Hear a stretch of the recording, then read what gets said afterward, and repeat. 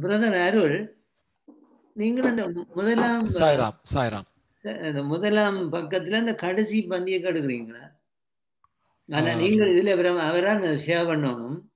நீங்கள். அந்த சும்மா வாசிங்க அந்த முதலாம் பக்கத்துல கடைசி பந்தி. இன்றைய புதுமை விரும்பிகள்.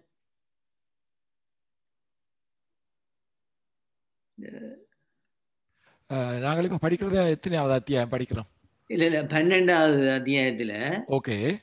முதல் பேஜில் அந்த கடைசி பந்தியை டிஸ்கஸ் பண்ணினாங்க. ஒரு சின்ன இந்த மேலான இந்த மேலான லட்சியத்தை அணுகும் போது இல்ல இல்ல இல்ல இன்றைய புதுமை விரும்பிகள் சில. ஓம் ஓம் ஓம் ஓம் ஓம் Sairam Sairam. Okay okay okay. Okay. Sairam. இன்றைய புதுமை விரும்பிகள் சிலர் கோயில் கோபுர நிர்மாணத்தின் பணம் வேஸ்ட் என்று கணக்கிடுகின்றனர். அது தொலைநோக்கற்ற துர்மார்க்க லட்சணமே அன்றி மேல் நோக்குடைய உன்னத உணர்வு உன்னத குணம் இல்லை. கோவில் கோபுர அமைப்பில் உண்மை பொருளை ஆராய்ந்து பார்த்தால் எத்தனையோ உட்கருத்துக்கள் நிறைந்ததாய் பவித்திரமானதாய் நேர்காட் நேர்வழி காட்டுபவைகளாக இருக்கின்றன என்பது விளங்கும். ஊருக்கு வெளியே சத்தியத்தை மறந்து உலக சுகங்களில் மூழ்கி வழிதவறி போய்க் கொண்டிருக்கும் வழிப்போக்கர்கள் வ- பார்த்து ஓ மனிதர்களே சரீர மோகத்தில் ஆழ்ந்து அகங்கார மமகாரமுடையவர்களாய் நிலையற்ற பொய்மையான அழியக்கூடிய உலக சுகங்களுக்கு ஆசைப்பட்டு உங்களுடைய உண்மை உருவமான உங்களின் பிறப்புரிமையான சத்திய நித்திய நிர்மல தன்னல தியாகியான என்னை சர்வ சுகங்களையும் தரும் என்னை மறந்து விட்டீர்கள் அதனால் நீங்கள் உலகத்துக்கே துயரத்தை அளித்து வருகிறீர்கள். மாறுதலை எய்தும் இந்த பிரபஞ்சத்தின் மேல் மோகம் கொள்ளாதீர்கள். சத்தியமான பரமாத்மாவை நம்புங்கள். அந்த சத்திய ஒளியில் முன்னோக்கி பயணமாகுங்கள். அமைதியான வாழ்வுக்கு இதுவே வழி இதுவே நெறி. இங்கே வாருங்கள் வாருங்கள் என்று கோபாலனின் அபயமளிக்கும் திருக்கரத்தைப் போல ஊரில் உள்ள அத்தனை மாளிகைகளுக்கும் மேலே உயர்ந்து நின்று கோபுரம் காட்சியளிக்கிறது. ஓகே தேங்க்யூ பிரதர் இப்போ ஓகே பிரதர் பிரதர் இப்போ ஓகே இருக்கணும். என்ன என்னன்னா இந்த பந்தியில நாங்கள் போன முறை பார்த்து நாங்கள் இதுல ஒரு வசனம் வருது. இதை நாங்கள் எடுத்து போட்டு முடிக்கையில். இந்த ஆஹ், என்ன இதுல வருதென்றால் உங்களுடைய உண்மை உங்களுடைய உண்மை உருவமான விருதல வசனம் உண்டு. உங்களுடைய உண்மை உருவமான உங்களுடைய உண்மை உருவமான உங்களின் பிறப்புரிமையான சத்திய நித்திய நிர்மல தன்னல தியாகியான என்னை. என்று சர்வ சுகங்களையும் தரும் என்னை மறந்து விட்டீர்கள் என்று. அப்போ அந்த இதில் என்ன விளங்குதுன்னா பின்னுக்கும் பின்பந்திகள்லையும் அது வருது. அந்த இறைவனுடைய இந்த சாய் பகவானை நாங்கள் எடுத்தால் அவர் வந்து எங்களுக்கு உள்ள எங்களுக்கு அடிப்பொருள் அவர் தான் அதுக்கு மேலே எங்களுடைய அழுக்களால மூடப்பட்டதால எங்களுக்கு அவரை தெரியுதில்லை ஒழிய அவர் எங்களுக்குள்ள ஒவ்வொருவருக்குள்ளேயும் உள்ளுக்குள்ளே அவரான் இருக்கிறார். அவரை விட வேறு ஆட்கள் இல்லை. நாங்கள் கதைக்கிறதெல்லாம் ஒரு ஒரு மேலெழுந்த ஒரு மா ஒரு இது என்ன சொல்றது? ஒரு பிம்பம் பிம்பம் போன்ற விஷயம். அதான் இதில் வருது. இந்த உங்களுடைய உண்மை உருவமான உங்களின் பிறப்புரிமையான சத்திய நித்திய நிர்மல தன்னல தியாக என்னை சர்வ சுகங்களையும் தரும் என்னை மறந்து விட்டீர்கள் என்று மற மறந்து விட்டீர்கள் அதனால் நீங்கள் உலகத்துக்கே துயரத்தை அளித்து வருகிறீர்கள். மாறுதலை எய்தும் இந்த பிரபஞ்சத்தின் மேல் மோகம் கொள்ளாதீர்கள். சத்தியமான பரமாத்மாவை நம்புங்கள். அந்த சத்திய வழியில் முன்னோக்கி பயணமாகுங்கள். அமைதியான வாழ்வுக்கு இதுவே வழி இதுவே நெறி இங்கே வாருங்கள் வாருங்கள் என்று கோபாலனின் அபயமளிக்கும் திருக்கரத்தை போல ஊரில் உள்ள அத்தனை மாளிகைகளுக்கு மேலே உயர்ந்து நின்று கோபுரம் காட்சி அளிக்கிறது. அப்ப அது கோபுரம் வந்து கோபுரத்தை பெரிய இந்த கோபாலனுடைய அபயக்கரத்தை ஒப்பிட்டு பகவான் சொல்லிக் கொள்றார் இந்த விஷயத்தை. உங்களுக்கு தெரியும் அந்த கோபுர அமைப்பின் உண்மை பொருளை ஆராய்ந்து பார்த்தால் எத்தனையோ உட்கருத்துக்கள் நிறைந்ததா இருக்கின்றன்னு சொல்லியிருந்தா yeah, அதுல கொஞ்சம் விளக்கம் தந்தா என்ன எங்களுக்கு அந்த கோபுரத்தை பற்றிய விளக்கங்கள்? அதுகள் இல்லாம கணக்கு இருக்குதுன்னு கோயில் மேலா அட்லீஸ்ட் ஒரு அடிப்படையான அடிப்படை வந்து ஒன்று அதை தூலலிங்கம்னு சொல்றோம். சூக்மலிங்கம் உள்ளுக்கு இருக்கிற மூலஸ்தானத்தில் இருக்கிற லிங்கம் தூலலிங்கம். இது ஸ்தூலலிங்கம். அது சூக்மலிங்கம் உள்ளுக்கு இருக்கு ஸ்தூலலிங்கம். அப்ப இறைவன் தான் ஆனா பெரிய சூ பெரிய வடிவிலே இருக்கிறார் அதோட கருத்து. மற்றது வந்து இந்த அதுல இருக்கிற அந்த வாசல்ல சில இடத்துல மூன்று ஓட்டை இருக்கும் சிலது அஞ்சு ஏழு ரெண்டு இருக்குது. அதுகள் எல்லாம் அந்த ஒவ்வொரு எங்களுடைய திரியரணம் பஞ்ச பஞ்சபூதம் அப்படி ஒன்று ஏழு சப்தர் இதுலன்னு சொல்லி ஒன்பது ரெண்டெல்லாம் இருக்கு. அந்த ஒவ்வொரு இங்கே தெரியும் ஒவ்வொரு இடத்துல ஒரு ஒரு ஓட் ஒரு சோதனம் இருக்கிற வெற்றிடம் மாதிரி. அதுகள் இருக்குது மற்றது ஒவ்வொரு சிற்பங்களும் வந்து இந்த புராண கதைகள் எல்லாத்தையுமே அள்ளி செ- வடிச்சு வச்சிருக்கிறாங்க சிற்பத்திலேன்னு எல்லா ஒவ்வொரு இடத்துலயும் அந்த ஒவ்வொரு ஸ்டோரியே விளங்கப்படுத்தி கொண்டே இருக்குது அது கோபுரங்கள். அப்ப முழு முழு ஆத்ம ஞானமும் வந்து அந்த சிற்பங்கள் கதைகள் கதைகளை சிற்பங்களாக்கி வச்சிருக்கிறார்கள்.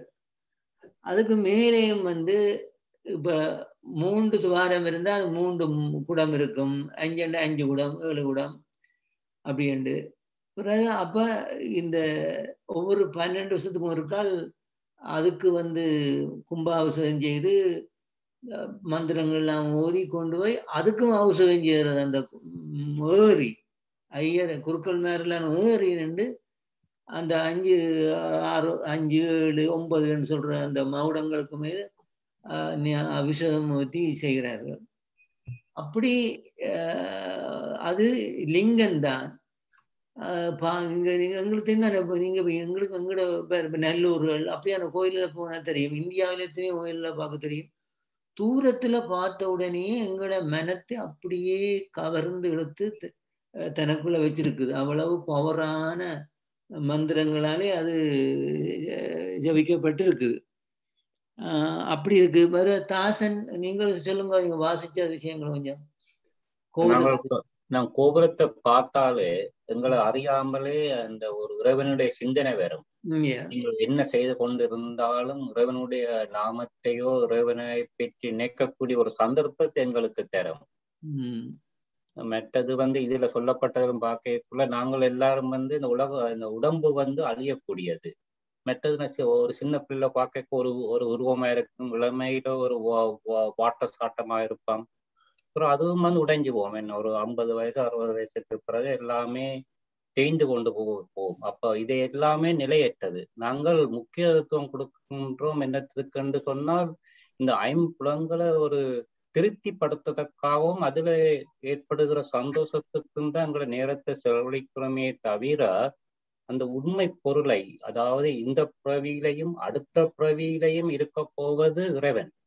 எங்களை கவனிக்கக்கூடியவர் அவர். அவர்தான் எங்களுடைய கர்மா விதிப்படி எங்க பிறக்கவனோரும் மற்றது அவருடைய அருளும் எங்களுக்கு இருக்கும். அதை மறந்துட்டு நாங்கள் வந்து சரீரத்தை ஆஹ், திருப்திப்படுத்துவதற்குத்தான் முக்கியமான நேரத்தை நாங்கள் செலவழிக்கின்றோம். நன்றி. ஒரு பாயிண்ட் இந்த கோபுரத்தை பற்றி விரும்புறேன். முறைப்படி அமைக்கப்பட்ட ஒரு இந்து ஆலயம் வந்து மனித உடல் அந்த. பாதம் சுவாமி. பாதம் தான் கோபுரம். அதாவது. Surrender full surrender hmm, surrender to God நினைக்கிறேன் ஐயா Yeah, yeah, that's அதை படுத்தி ஒரு ஒரு மனிதன் படுத்திருந்தால் வந்து எங்களோட தலை வந்து மூலஸ்தானத்தில் இருக்கும். கால் வந்து கோபுரவாசல்ல இருக்கும். அப்ப அப்படி இரு- இரு- இருக்கிறதாகத்தான் அந்த கோயில் கட்டப்பட்டிருக்க. ஆம சாஸ்திரங்கள் சொல்லப்படுது. அப்ப எங்களுடைய அப்படியான விஷயங்களும் அதில் இருக்குது. அப்படி கோயில் யா அது தேங்க்யூ யா மற்றது எங்களுக்கு வந்து கவர்ன கணக்கு இருக்குது. அடுத்த பந்திக்கு நாங்கள் போனோம் சாய்ராம்.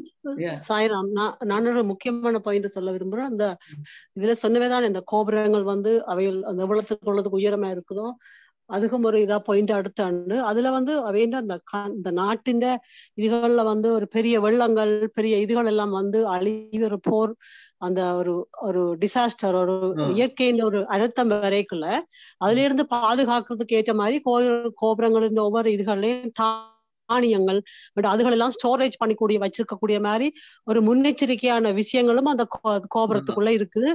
உள்ளுக்கு போய் பார்த்தோம்னா தெரியும். சரியான ஸ்பேஸ் உள்ளுக்குள்ள நீங்கள் ஒரு கோபுரம் நீங்கள் அதிகமா உங்களை நேரா போய் அனுபவிச்சா தெரியும். பெரிய ஏரியா உள்ளுக்குள்ள. அதுக்குள்ள அந்த ரெண்டு கரையாலையும் எத்தனையோ சாமான்களை வைக்கலாம் அந்த நீங்கள் கோபுரத்துக்கு உள்ள அப்படி இருக்கு. பெரிய பெரும் ஸ்டோரேஜ் கூடிய இடங்கள் கிடக்கு உள்ளுக்குள்ள. கோதா இருக்கு. கோபுரம் வந்து ஆக்களை இந்த வரவேற்கிற மாதிரி இருக்கும்னு சொல்லி சொல்லி சொல்லப்படுது. ரெண்டு கையும் மாதிரி. அந்த அந்த அதாவது அந்த என்ன சொல்றது அவைகளுக்கு அந்த அபயம் கொடுக்குற மாதிரி தான் அதனுடைய ஒரு அமை அமைப்பு இருக்கு. அபயம் கொடுக்குற மாதிரி. இப்ப திருச்செந்தூர்ல இந்த கோபுரம் தானே அது. திருச்செந்தூர்ல அந்த இது சுனாமி வந்த நேரத்துல எல்லா இடத்துலயும் தண்ணி போனது கடல் கரையில இந்த கோயில் கோயிலுக்கு. ம். திருச்செந்தூர்கிட்ட போயில தண்ணி. கதையை கதையா காய்ச்சி அது ரெண்டாவது அந்த சரியான முறையில் கட்டப்பட்டிருக்கு அது அது கோயில் தெரியும் தானே திருச்செந்தூர் போனாக்களுக்கு தெரியும். அந்த கடற்கரையோட தான் இருக்கு அந்த கோயில். அப்ப அந்த கோயிலுக்கு தண்ணி போகவே இல்லை. அது மட்டுமில்ல அந்த கோயில் சாய்ராம் கோயிலுக்குள்ள நீங்கள் அந்த போர்க்காலத்துல எல்லாம் வந்து நாங்கள் தஞ்சம் அடைஞ்ச இடம் வந்து கடைசியா கோயில் தானே. ஏன்னா. அதுக்கு வந்து அட்டாக் பண்ண முடியாது பட் உயர்ந்த இது எடுக்கிறபடினால அது ஒரு பாதுகாப்பான இடமாயும் அந்த ஒரு சரண்ட சரண்டர் டு கோட்ன்றது அந்த இடத்துல நாங்கள் கடைசியா அந்த போர்க்காலத்துல போய் சரண்டர் பண்ண இடமும் கோயில் தானே. சாய்ராம். மற்றது பிரதருக்கு சரி வரையிலையா சிஸ்டர்? பிரதருக்கு கனெக்ட் பண்ணலையா பிரதர் சொன்னவர் கனெக்ட் Yeah. இல்ல இல்ல எனக்கு நீங்கள் கதைக்கிறது இந்த இப்ப கம்ப்யூட்டர் கேக்குது பிரதர் நீங்க கதைக்கிறத. இப்ப நான் இப்ப நீங்க நான் போன்ல on the phone also okay okay okay என்ன அவருக்கு நாங்கள் காய்ச்சது அவருக்கு கேட்கல. அதான் இப்போ ப்ராப்ளம் ஓகே பிரதர் நீங்கள் மூவ் பண்ணி அடுத்த பக்கத்துக்கு போறீங்களா? இந்த வாசிக்கிறதுக்கு. அடுத்தது போங்க.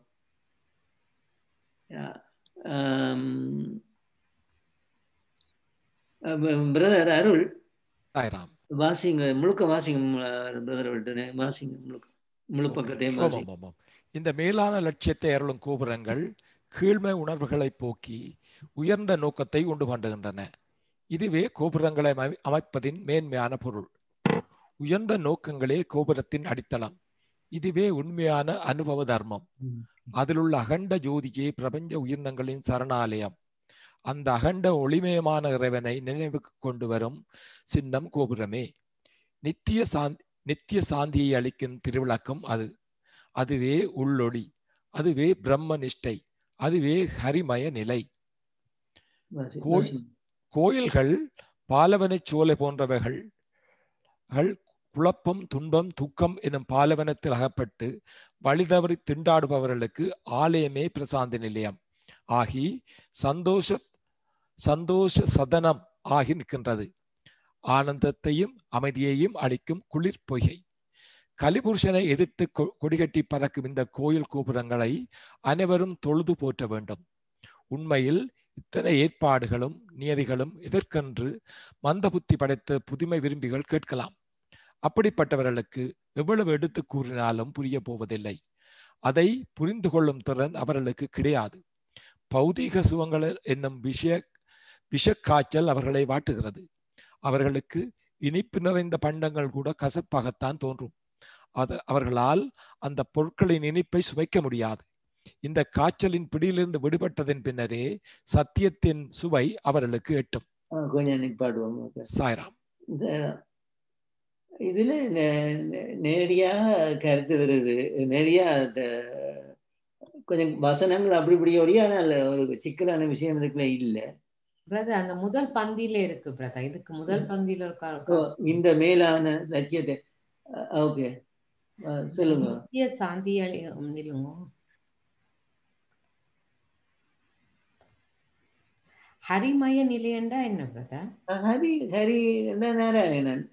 ஓ, சிவமயம் சிவமய நிலை சிவமயம் ஹரிமயம் ஹரமயம் ஹரிமயம். அப்ப பிரம்மனிஷ்டே பிரம்மனிஷ்டேக்கு இன்னொரு சொல்லால பகவான் சொல்றாரு என்ன? எல்லாம் சிவமய நிலை அல்லது ஹரிமய நிலை ஹரமய நிலை என்றது சொல்றாரு. அப்ப அதுவே உள்ளொளி அதுவே பிரம்மனிஷ்டை. பிரம்மனிஷ்டைன்னா என்ன? பிரம்மத்துல சமாதியில அப்படியே அப்படி பிரம்மத்தை அனுபவித்து அனுபவித்து கொண்டிருக்கிற சமாதி தான் பிரம்மனிஷ்டை. அப்ப அந்த அளவுக்கு பகவான் இந்த கோபுரத்தை உயர்த்தி காட்டுறார். அந்த அகண்ட ஒளிமயமான இறைவனை நினைவு கொண்டு வரும் சின்னம் கோபுரமே. நித்திய சாந்தியை அளிக்கும் திருவிளக்கு அது. அதுவே உள்ளொளி அதுவே பிரம்மனிஷ்டை அதுவே சிவமயம். இப்படி எல்லாத்தையும் பகவான் எடுத்துக்கொண்டு தான் போட்டு வச்சுக்கிறார் அதுக்குள்ள.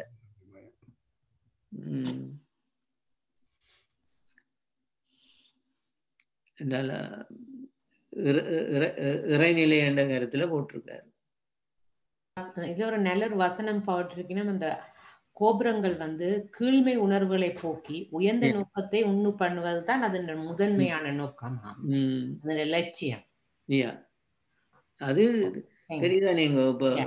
தூரத்துல இருந்து போகுது அது உடனே ஒரு கம்பீரமான தோற்றம் அதாவது நாங்களும் கடவுளுடைய சரண்ட பண்ணைக்குள்ள முற்று முதாக ஃபெய்த் அண்ட் சரண்டர் எங்களுக்கு ஒரு கம்பீரான உணர்வை தரும். சாய்ராம் இந்த சுவாமி வந்து இந்த கோயில்களுக்கும் நிச்சய கோபுரங்களை கொண்டு வர்ற பொழுது சுவாமி வந்து கோயில்களுக்கு மிக மிக அதி முக்கியத்துவம் வந்து கொடுத்திருக்கின்றார்.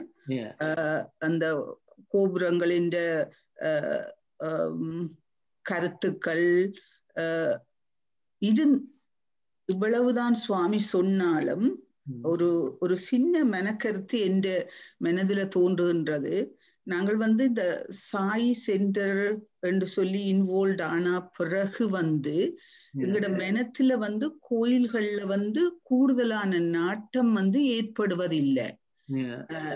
இப்ப சுவாமி இவ்வளவு அற்புதமான இது இந்த அஹ், ஹரிமய நில ஆனந்தம் நித்திய சாந்தி எல்லாம் சொன்னாலும் கூட எங்களுக்கு வந்து ஒரு சாய் சென்டருக்கு வந்து போய் போக துவங்கி அதுல வந்து ஈடுபாடும் நாட்டமும் வந்தா பிறகு கோயில்களை தேடி நாடி ஓடுற அந்த அந்த விருப்பு வந்து எந்த மன எண்ணத்துல வந்து குறைஞ்சு குறைஞ்சு கொண்டுதான் வருகின்றது. இப்ப சாய் சென்டருக்கு வராத ஆட்கள் வந்து கிரமமாக கோயில்களுக்கு போவார்கள். ஆனா சாய் சென்டருக்கு வந்த பிறகு நாங்கள் வந்து அந்த சாய் சென்டரையே ஒரு கோயில் ஸ்தானத்துல வச்சு அதை கும்பிடுறபடியால் எங்களுக்கு வந்து இந்த கோயில்கள்ல வந்து அது இந்த கோயில் கிரியோ கோயில் திருவிழாக்கள்லயோ வந்து கடுமையான நாட்டம் கிடைப்பது அந்த அரிது.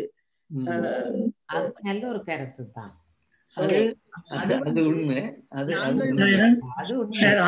அந்த நிலையை நீங்கள் திறந்துட்டீங்க ஆஹ் ஓ, அந்த நி- அது சரி.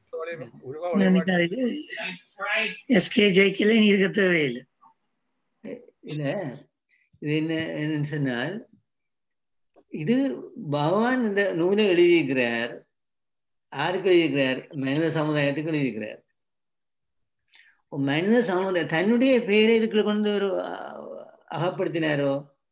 சாய் என்ற பெயர் கொண்டு வந்தாரோ? இல்லை.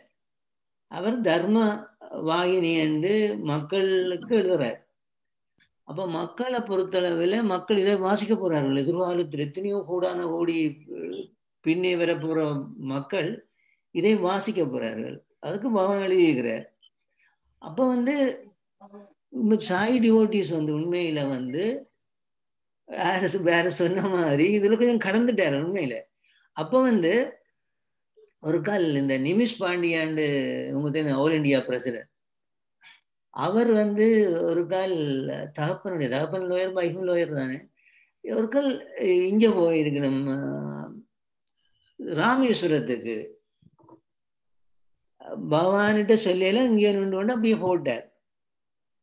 போயிட்டு வந்த பிறகு ஒன்றரை வருஷம் கிட்டத்தட்ட பவன் அவரை திரும்பியும் பார்க்கல. நியூஸ் பாண்டியாவை. அப்போ பார்க்கல. பிறகு பிறகுதான் பிறகு தான் நம்மளுக்கு? பிறகு அவர் அவன் சொன்னார் இது இங்கே இல்லைன்னுச்சு அங்க போனியோண்டு. இங்க நீ தேர்ற பொருள் இல்லைன்ட்டு அங்க போனியாண்டு. அப்ப இது பேருக்கு மட்டுமல்ல. வேறே ஆக்கள் எத்தனையோ பேருக்கு சொல்லிக்கா நீங்க போகணும் என்னதுக்கு அவர் சொன்னார் சொன்னார் என்றால் வந்து பகவானை விளங்கின பிறகு எங்களுடைய மு- இந்த அகில பிரபஞ்சத்துக்கு ஆக்குகாரணி ஆஹ், பகவான் என்று நாங்கள் திட்ட தெளிவாக விளங்கின பிறகு இந்த தலங்களுக்கு நாங்கள் போக போக வேண்டும். இந்த அந்த நம்பிக்கையை இங்கே கண்டு கொண்டு இந்த கோயில்களுக்கு நாங்கள் போகிற பொழுது சாய் டிவோட்டிஸ் போகிற பொழுது அங்க கோயில் நடக்கிற இந்த எல்லா மகிமையையும் நாங்கள் பகவானுடைய மகிமையாக தான் பார்ப்போம்.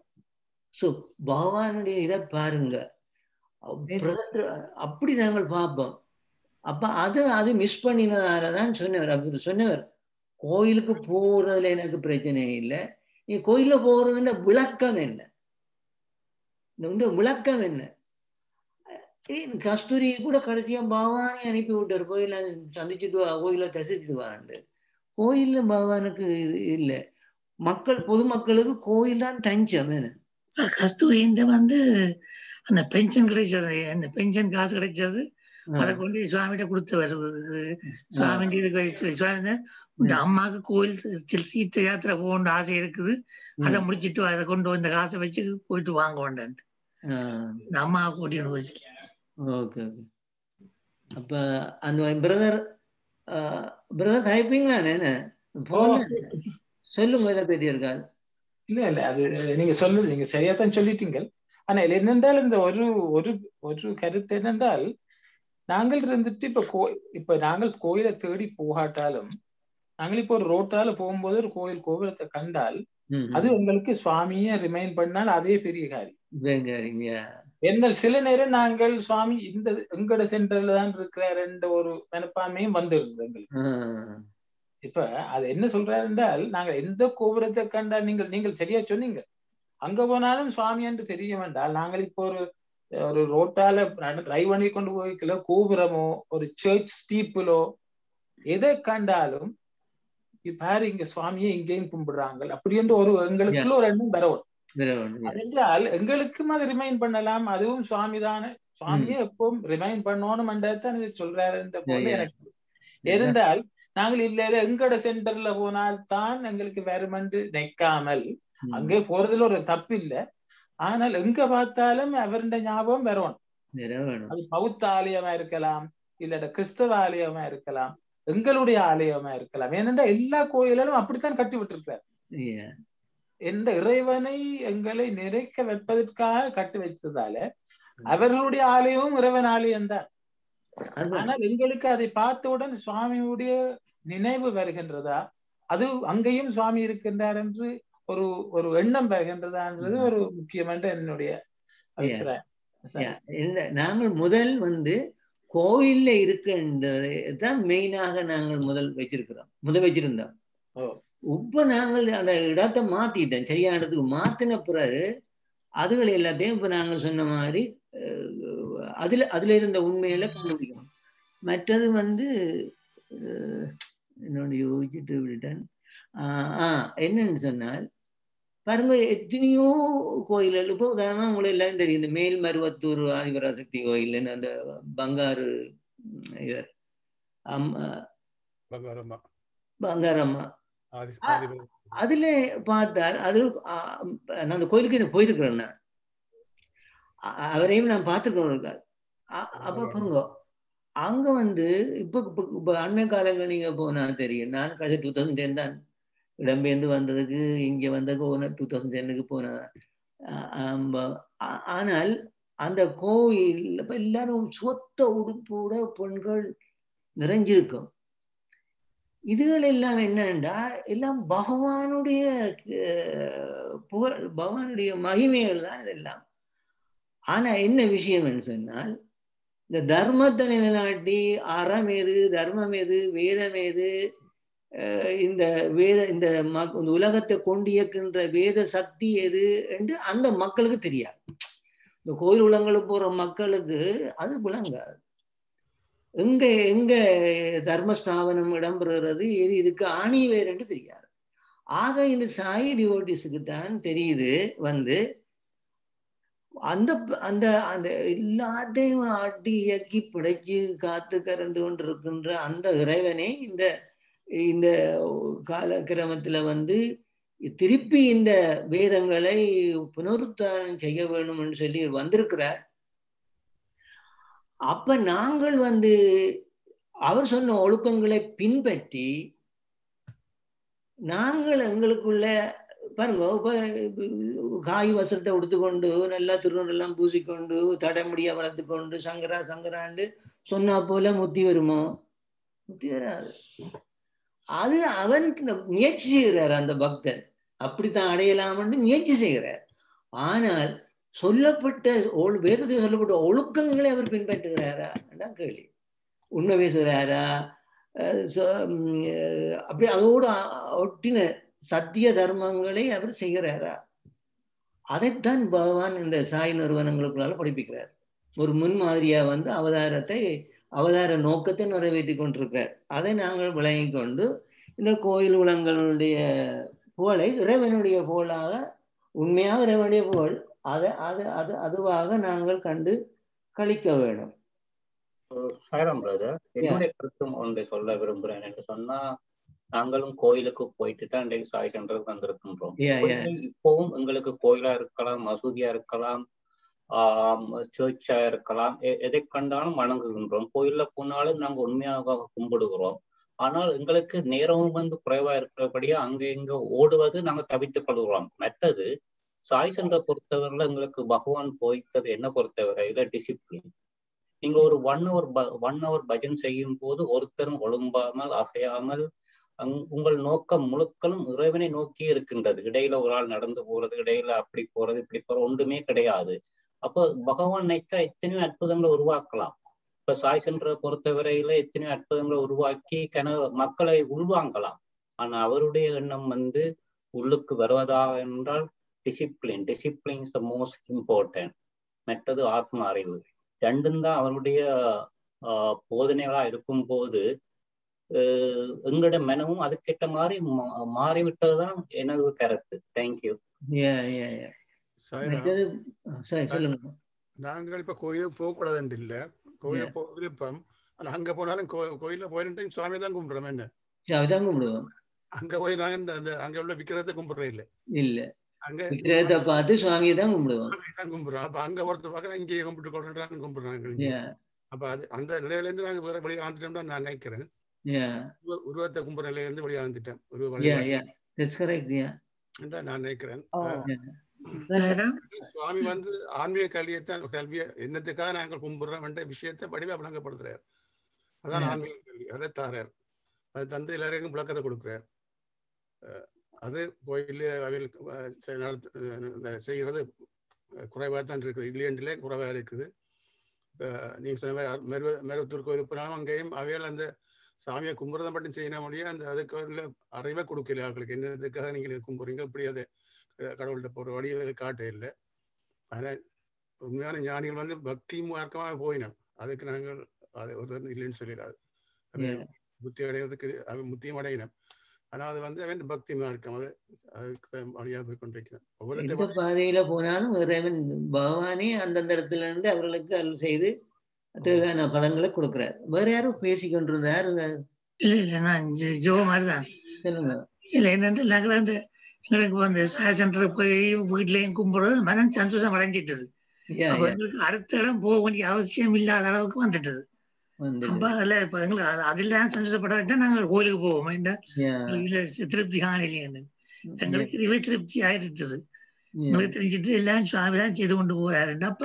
எங்களுக்கு அதை பற்றி நீ அங்கலாக்க வேண்டிய அவசியம் இல்லை. வழியதான் கோயில மறக்கையில பட் ஆனால் அவசியம் இல்லை என்ற அளவில் இந்த வீட்டுக்குள்ளே கோயில வந்துட்ட மாதிரி நடந்து கொண்டிருக்கிறோம்.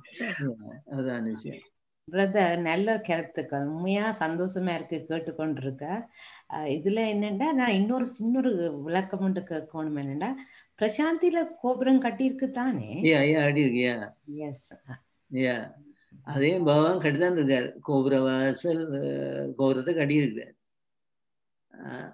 ஐயா கேட்க நல்லா இருக்கு. என்னண்டா சுவாமின்ற இதுல வந்து அவ்வளவு இந்த சுவாமி உண்மையாவே நாங்கள் எல்லாரும் ஒரு ஏதோ ஒரு நல்ல ஒரு நல்ல கர்மா செய்து தான் வந்திருக்கிறோம் சுவாமியை நினைக்கிறதுக்கு. ஐயா, இருக்கு இருக்குது என்னொன்று இருக்குன்னு என்றால் இ- இங்க வந்து தண்டி இந்த பகவானுடைய இதுகளை பார்த்தா தெரியும் தண்டிக்கிறாரு பகவான் எங்களை.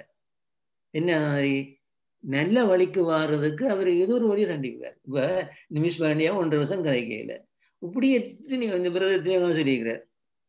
இப்படி எத்தனையோ பேருக்கு எத்தனையோ அப்படி என்னென்றால் அந்த கரெக்ஷன் அந்த அந்த தாய் கருணை வந்து அதை திருத்தி அவர்களை திருத்தி உண்மையான நிலையை அறியப்படணும் என்று ஒரு ஃபோர்ஸ் ஒன்று இதுல இருக்குது அது வந்து வேறு இடங்கள்ல இல்லை. அந்த கரெக்டிவ் மோடு இல்லை.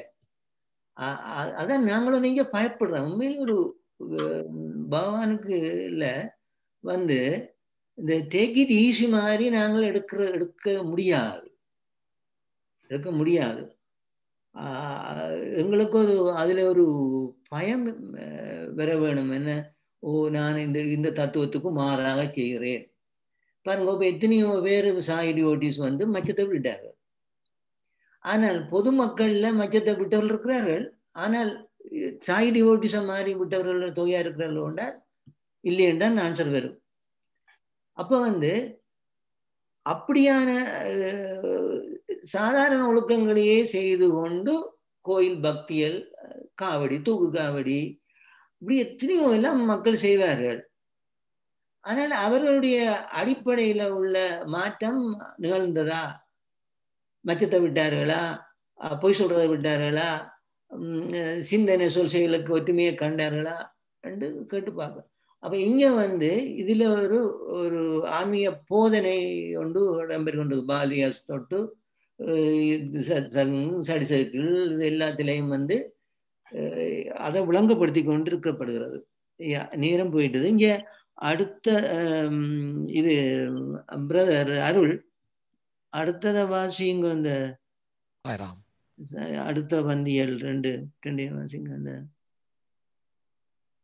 அஹ், நீங்க ரெண்டு வண்டி வாசிச்ச நீங்கள் இந்த அவ்வாறே. வாசிக்கிறேன் சாய்ராம் அவ்வாறே மனித பிறவியின் நோக்கம் என்ன? பெற வேண்டிய பேறுகள் இவை கேவலமான பசு பட்சி மிருகங்களைப் போல உண்டு பருகி உறங்கி பூக பாக்கியங்களை அனுபவித்து பின்னர் மரணத்தை தழுவுவதானா இல்லை இல்லை. பிறவியின் நோக்கம் மனிதனின் தர்மம் என்னவென்று சிந்தித்தால் அங்கே பைத்தியகாரத்தனமாக பைத்தியகாரத்தனமான கேள்விகளுக்கு இடம் இருக்காது. மனித வாழ்வின் லட்சியமே பிரம்மத்தை அறிந்து கொள்வதுதான். பரமேஸ்வரனின் அருளை பெற்றாருடைய எந்த மனிதனும் அமைதியை அடைய முடியாது. சுகத்தையும் சாந்தியையும் பெற எவ்வளவு முயற்சித்தாலும் சரி பிரஞ்ச பிரபஞ்ச பொருட்களின் மூலம் சிறிதளவு சுகம் வேண்டுமானால் கிட்டுமே தவிர சாந்தியை ஒரு நாளும் பெற முடியாது. ஏன் அவ்வாறு புகலிடம் அடைய வேண்டும் என்ற சந்தேகம் ஏற்படலாம். எந்நாளாவது புகலிடம் அடைய வேண்டிய சொந்த இடம் என்பதனால் அதைவிட வேறு வழி வேறு கதி இல்லை. அதனால் அதை பெற முயற்சிக்க வேண்டியது அவசியம். மனம் சுயஸ்வரூபமான சர்வமும் நிலப்பெற்றிருக்கும் மூலகாரணமான மூல காரணமான சச்சிதானந்த ரூப ரூபனான பரமாத்மாவை அடையாமல் நன்னிலையை அடைய முடியாது. வேறெங்கும் சாந்தியை அடைய முடியாது. மீழ்ச்சி இல்லை. சகல பூகங்கள் கூடிய மாளிகையாகட்டும் செல்வங்களாகட்டும் இன்னும் மற்ற உலக விஷயங்களாகட்டும் சுயரூபமான சுய ஆத்மாவான பரமேஸ்வரனை தெரிந்து கொள்ளாமல் சாந்தியை எந்த விதத்திலும் பெற முடியாது. சாய்ராம். இது அப்படியே அப்படியே பகவான் சொல்லிக்கொண்டு போறாரு. என்ன எங்க முக்கியத்துவம் இருக்குது? அதான் இப்ப நாங்கள் இப்ப நாங்க டிஸ்கஸ் பண்ணினதுதான் இது. இப்ப இது வந்து நாங்க டிஸ்கஸ் பண்ண விஷயம் தான் இங்க வருகுது. இப்ப பிறவியின் நோக்கம் மனிதனின் தர்மம் என்னவென்று சிந்தித்தால் அங்கே பைத்தியக்காரத்தனமான கேள்விக்கு இடம் இருக்காது.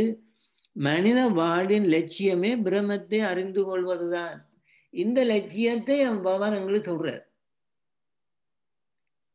இது வந்து பொதுவான இடங்கள்ல இந்த இந்த இந்த பிரம்மாண்ட சொல்லியே கேள்விப்பட்டிருக்க மாட்டார்கள். ஒரு ஒரு சாதாரண இடங்கள்ல. அறிந்து கொள்வதுதான் பரமேஸ்வரன் அருளை பெற்றாலொழிய எந்த மேதனும் அமைதியை அடைய முடியாது. அடைய முடியாது. சுகத்தையும் சாந்தியையும் பெற எவ்வளவு முயற்சித்தாலும் சரி பிரபஞ்ச பொருட்களின் மூலம் சிறிதளவு சுகம் வேண்டுமானால் கிட்டுமே தவிர சாந்தியை ஒரு நாளும் பெற முடியாது. ஒரு துறவு வாழ்க்கையை எங்களுக்கு பகவான் காட்டுறார். ஒரு துறவில தான் பரமேஸ்வரன்ல சரணாகதி பின்னுக்கும் அதான் வருது சரணாகதி தத்துவத்தை தான் பகவான் இதில் விளங்கப்படுத்துறார். இந்த கோயில் குளங்கள் தீர்த்தங்கள் அதுகள் எல்லாம் நீங்கள் பின்னுக்கு வருது இல்லை அதுகள் எல்லாம் வந்து அதில் நாங்கள் சும்மா மயங்கரம்னு சொல்கிறார் அப்போ சரணாகதி இறைவனில் அடைந்து அவருடைய அருள் இல்லாமல் அமைதி கிடையாது. அதான் இந்த இந்த இந்த தத்துவம். நீங்கள் நீங்க சொல்லுங்க உங்க நீங்கள் வாசிச்சாக்கள் என்ன மாதிரி கிடக்காந்து சாய்ராம் நாங்கள் சின்ன வயதுல இருந்து கோயில்கள் இதுகள் போய் வந்த நாங்கள். போய் வரும் வரையும் அந்த உலக பொருள் நாட்டம் பௌதீக நாட்டங்கள் அதுகளுக்காகத்தான் கோயிலுக்கு போறோம்ன்ற மாதிரி தான் இப்பத்த இந்த கலியுகத்தின் தன்மை அப்படியா இருக்குது. நாங்க சுவாமிகிட்ட வந்த அப்புறம் தான் ஆத்மா என்றால் என்ன? நானார் நாங்கள் ஆத்ம தத்துவத்தை அடைய வேணும். அப்படியான ஒரு நல்ல அந்த ஆத்ம ஈடேற்ற முன்னேற்றத்துக்கான பாதைகளை சுவாமி தான் காட்டினார். அப்ப கோயிலுக்கு போனா அங்க நிம்மதியாக எங்கட பஜனையில இருந்துட்டு கும்பிட்டுட்டு வர்ற மாதிரியான ஒரு மன அமைதிய கோயில்களுக்கு போய் வந்தா இருக்காது. ஒரே சஞ்சலமான இதாகத்தான் கோயில்ல வழிபடுகிறார்கள். அப்ப அதாலதான் அந்த அது இந்த உண்மை தத்துவத்தை புரியாம ஜனங்கள் எல்லாம் கீழான நிலையிலே போய் கொண்டிருக்கிறார்கள் தான் முதல் அதுல முதல் பந்தியில சுவாமி சொன்னார். கோயில்கள்ல அந்த உண்மையான தத்துவத்தை புரியாதவர்கள். இப்ப நாங்கள் புரிஞ்சு கொண்டபடியா மனதுல உண்மையா சகல எல்லா இதையும் பெற்று உண்மையான வேற எந்த சாந்தியையும் அடைய முடியாது. எந்த முயற்சியும் இல்லையென்ற இந்த அருமையான கருத்துக்களை சுவாமியின் மூலம்தான் நாங்கள் அறிகிறோம். இடத்துல வந்துதான் நாங்கள் அந்த எங்களுடைய சுயரூபம் என்ன? எந்த சுய எங்களோட சுயரூபம் அதான் முதல் சொன்னார் எங்களோட சுயரூபம் என்ன என்பதை அறியக்கூடிய இதுகளை சுவாமி எங்களுக்கு தர்ம முறையில போதிக்கிறார். இப்ப விசேஷங்களாகட்டும் சுயரூபமான சுய ஆத்மாவை. அதனால நாங்கள் இப்ப புரிஞ்சு கொள்ளுறோம் அப்ப எங்களுக்கு எங்க இருந்தாலும் பகவான் தான் தோற்றம். பரமேஸ்வரனை எதிர்த்து கொள்ள தெரிந்து கொள்ளாமல் சாத்திய இந்த விதத்திலும் பெற முடியாது. மனசுவரூபமான சர்வம் நிலைபெற்றிருக்கும் மூலகாரணமான சச்சியானந்த ரூபமான பரமாத்மாவை அடையாமல் நன்னிலே அடைய முடியாது. நீங்க சொல்றீங்க போனா எங்களுக்கு அது விளங்காது. சும்மா கோயில் எல்லாரும் போறோம். அந்த மாதிரி தான் இப்போ கோயில்கள்ல நடக்குது. எத்தனையோ தரம் சிவராத்திரி போயிருக்கிறோம். சின்னன்ல சுவாமியின் போல்ல வந்த அப்புறம் அதோட சிக்னிபிகன்ஸ் ஆஃப் த ஃபெஸ்டிவல்ஸ் எல்லாம் சுவாமி சொன்ன இப்ப தந்த அப்புறம் தெரியும் எங்களுக்கு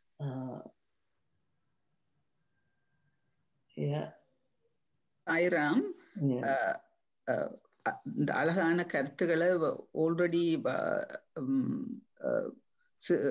சுஷீலா டீம் மற்றது பிரதர் சூரியகுமாரும் கொண்டு வந்துட்டினோம் ஈவன் நாங்கள் வந்து சிறு வயதுகள்ல இருக்கேக்க வந்து எங்களை வந்து கோயில்கள்ல அறிமுகப்படுத்திக்க வீட்டிலேயே சொல்றது எக்ஸாமுக்கு போவதுக்கு முன்னுக்கு போற வழியில கோயில்ல கும்பிட்டுட்டு போனா தான் எக்ஸாம்ல பாஸ் பண்ணலாம் அப்ப எங்களுக்கு வந்து சிறு வயதுல இருந்தே அதாவது உலக விஷயத்துல கொண்டு ஒரு சித்தி பெற வேணுமா?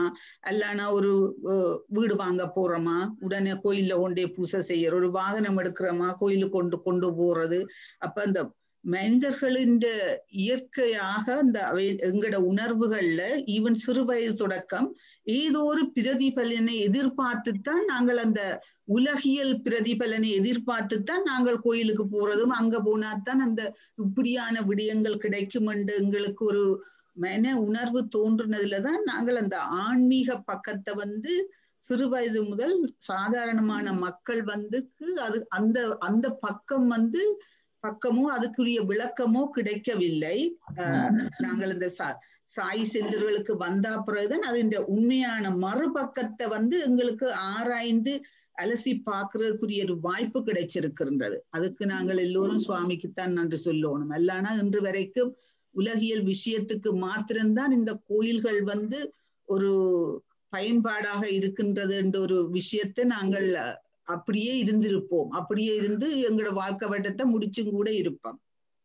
அது உண்மை. அது காரணம் என்னன்னு சொன்னால் வந்து பகவான் எத்தனையோ ஞானிகள் இருக்கணும் எத்தனையோ ஞானிகள் இன்றும் இருக்கணும் என்றும் இருந்தவர். ஆனால் வந்து அவர்கள் ஞானிகள் தங்களுக்குள் ஞானிகளாக இருந்தார்கள். அது இறைவனுடைய கிருவை. ஆனால் வந்து மக்களை புரட்சி மக்கள் புரட்சியாக கொண்டு வந்து மாற்றக்கூடிய வல்லமைகள் ஞானிகளுக்கு இருக்கவில்லை. காரணம் என்னன்னு சொன்னால் வந்து அவருடைய ஆற்றல் வந்து மட்டுப்படுத்தப்பட்டு தான் இருந்தது. பகவானுக்கு வந்து எங்கேயும் தனது பக்தனை காப்பாற்றுகின்ற தன்மை அற்புதங்களை நிகழ்த்தி மக்களை கவர்ந்து இழுத்து ஒரு விசிட்டிங் கார்டுன்னு சொல்றதானே அந்த விசிட்டிங் கார்டு மூலம் அவர் ஆக்களை கொண்டு வந்து ஆக்களுக்கு அடிப்படை தேவை எல்லாத்தையும் பூர்த்தி செய்கிறார். பூர்த்தி செய்து போட்டு செய்து கொண்டு செய்து கொண்டு இந்த கேள்வியை வழங்கி கொண்டிருக்கார் அப்போ வந்து இதெல்லாம் அவருக்கு சாதிக்க முடிய முடியுது. மற்றவர்களால் சாதிக்க முடியாமல் காரணம் வந்து இந்த இந்த ஒழுக்க நிறைய காரணம் வந்து ஆற்றல் காணாது. அப்ப இந்த பேராற்றல் மூலமாக எத்தனை இது எத்தனை சாய் சச்சரத்துல வந்து அந்த ஒரு புத்தகத்தை தான் நாங்கள் படிக்கிற வேண்டிய ஒரு ஒரு புத்தகம் மற்ற சில சில புத்தகங்கள் அடிஷனல் அதில் இல்லாததும் சில சாய் சம்பந்த சிடி சாய் புத்தகங்கள்ல சில இதில் இருக்குது. அப்போ வந்து நாங்கள் கிட்டத்தட்ட அதோடைய அவற்றை அற்புதம் பண்ணிட்டு நாங்கள் முடிவெடுக்கிறோம். ஆனால் எத்தனையோ ரெக்கார்டிங் வந்திருக்காது அப்படி முடிவெடுக்கிறோம். ஆனால் இந்த சத்யசாயி அவதாரத்தில் வந்து இந்த பகவான் சத்யசாயி அவதாரத்தில் வந்து ஒவ்வொருவருக்குமே பத்து பதினஞ்சு இருபது அற்புதங்கள். ஒவ்வொருட வாழ்க்கையிலையும் கேட்டால் காதை புத்தி வயப்ப தோணு அப்படி நடந்தோ அப்படி நடந்தோண்டு அப்ப அவ்வளவு தூரத்துக்கு ஒம்னிஷன் ஒம்னி பிரதன் ஒம்னி போட்டனா அவர் இருந்து எங்களை கவர்ந்து இழுத்து இந்த ஞானத்தை தந்து இதுல இருந்து என்னத்தை எங்களுக்கு காட்டுற எங்களுக்கு காட்டுறாரு என்றால் வந்து அடக்கம் ஒரு ஒரு வீட்டில் ஒரு ஒரு அவமிருத்து வந்தால் அதை தாங்கிறது இதுகளை வந்து பகவான் எங்களுக்கு ஊட்டி வருகிறார். சில இடங்கள்ல வந்து அவர் ஒரு வில்லங்கம் வர்ற பொழுது அவர்களுக்கு அந்த வில்லங்கத்திலிருந்து மீள இயலாத ஒரு நிலை இருக்கும். ஆனால் இந்த பகவானுடைய இதில் ஆட்சிக்கு உட்பட்டு வரவர்கள் வந்து எல்லாரும் மனிதர்லாம் அப்போ கஷ்டங்கள் வந்த பொழுதும் கூட பகவானுடைய கருணையினாலே அவர்கள் நிம்மதியாக வாழக்கூடிய ஒரு வழியை காட்டி கடைசியாக வந்து எங்களை வந்து இறைவன்கிட்ட போய் சேர் சேர் என்று பின்னுக்கு நின்று உதைச்சி அடிக்கிற மாதிரி நீ இந்த தேவையில்லாத விளையாட்டை விட்டு இந்த இடத்துக்கு போ. இந்த நிம்மதியான ஆனந்தத்தை பெற்றுக்கொள் என்று திசை திருப்பி கொண்டிருக்கிற விஷயங்களும் இங்கே இருக்கு. இந்த இந்த அத்தியாயம் முழுக்க அப்படியான ஒன்றுதான் பிரதர் சொல்லுங்க கொஞ்சம். பிரதர் பிரதர் அங்க நிக்கிறேன் சொல்றது நீங்க எல்லாத்தையும் நீங்க சொல்லிட்டீங்கல்ல எல்லாரும். அது புதுசா எனக்கு ஒன்னும் சொல்றதுக்கு அங்க இல்ல. அதான் சுவாமி எங்களை இப்படி இந்த விளக்கங்கள் கூட எங்களுக்கு தர்றதால எங்களுடைய வாழ்க்கையில இவ்வளவு கூட கூட இறைவனை சிந்திக்கலாமோ அதற்கு எங்களுக்கு வழிவகுத்து விடுறாருன்னு நான் சொல்லலாம். இது ஒருத்தருக்கு நீங்க சொன்ன மாதிரி எத்தனையோ செஞ்சுரிஸ் நூற்றாண்டு காலத்துக்கு இதை யார் யாரோ படிக்க போகிறார்கள். அவர்களுக்கு இது உதவியாக இருக்கும். எங்களுக்கு கூட வேற ஒரு விதமான உதவி சுவாமி எங்களுக்கு தர இருந்தா இதை இதை வாசித்தது பிறகு நாங்கள் எந்த கோபுரத்தை கண்டாலும் எங்களுக்குள்ள ஒரு உள்ள ஒரு ஊர்ற ஒரு உணர்வு வந்து வித்தியாசமா தான் இருக்கு. இவள் நானும் அது ஒரு நல்ல ஒரு டெக்கரேஷன் நல்ல ஸ்கல்ப்சர் அப்படி இப்படின்னு சொல்லுவாங்க ஒழிய இனி பார்க்கும்போது அதுல அதால வர்ற உணர்ச்சி உணர்வு வந்து கொஞ்சம் வித்தியாசமா இருக்கு என்று என்னுடைய அபிப்பிராயம். சாயிரம் சாய்ராம் சுவாமியின் டிவோஷன் வந்து இஸ் வெரி டிரெக்ட்னு சொல்லி ஒரு உதாரணம் சொல்ல விரும்புறேன் இந்த தருணத்துல. ஒரு இருபது இருபத்தஞ்சு வருஷத்துக்கு முதல் எங்களுடைய அம்மா என்னோட இருக்கும் பொழுது அம்மாவோட தம்பிக்கு கேன்பராவில் பைபாஸ் சர்ஜரி நடந்தது. அப்ப நான் கோயிலுக்கு போய்க்கிருந்தேன் எங்களுடைய அம்மா பஜனை கிட்ட கிட்ட போவேன். அப்போ ஒரு நாள் பஜனை போட்டு வேற அந்த ஒரு ஃபியூ டேஸ்ல பைபாஸ் சர்ஜரி நடக்க போகுது. அப்போ அப்போ நான் எங்களுடைய அம்மா உள்ளுக்கு வச்சு கோழிவா என்னத்துக்கு கும்பிட்டுருப்பான்னு போட்டு அம்மாட்ட கேட்டேன். ஸோ சுவாமிகிட்ட என்ன கேட்டு நீங்கள் அப்போ அம்மா சொன்னா ஆப்ரேஷன் தியேட்டருக்கு போ போக சொல்லி. போய் சுவாமியை போய் ஆப்ரேஷன் தியேட்டர்ல நிக்க சொல்லி கேட்டாங்க. எனக்கு அப்படி தூக்கி போட்டுது. அவ்வளவுக்கு டிரெக்டா சுவாமிய அம்மா கேட்டுருக்கிறா போய் ஆப்ரேஷன் தியேட்டர் நின்று அந்த பைபாஸ் சர்ஜரியை செய்யணும் அந்த அப்படி அந்த ஒரு டிரெக்ட் டிவோஷன் அது உரிமை உரிமையும் கொடுத்து அந்த and swami also does that. yeah thank you. Sai brother அடுத்த அடுத்த வண்டிக்கு மூவ் பண்ணுங்க அடுத்த. அடுத்த அங்கள மறந்ததே.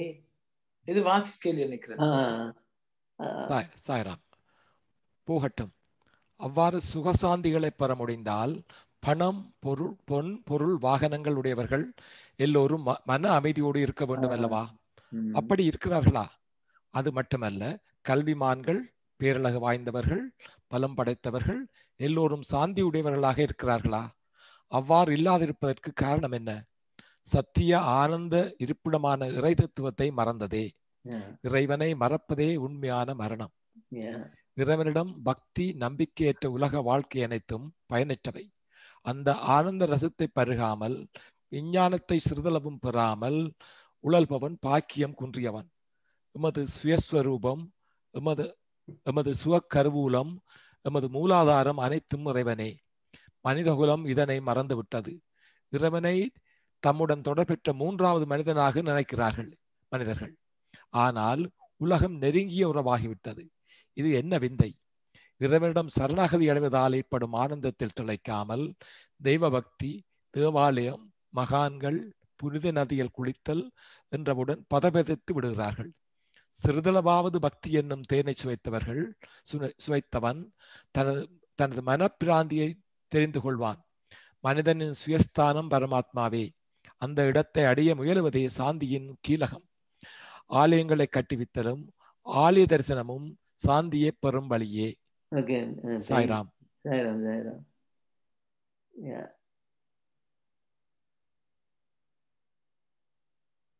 சாய்ராம் பிரதர் இதுல சாந்தியை பற்றி ஒரு கதைக்க விருப்பப்படுறேன் என்று சொன்னா அந்த சாய் சென்டருக்கு வந்ததால எத்தனையோ ஆத்ம வித்தியால கற்றிருக்கின்றோம்.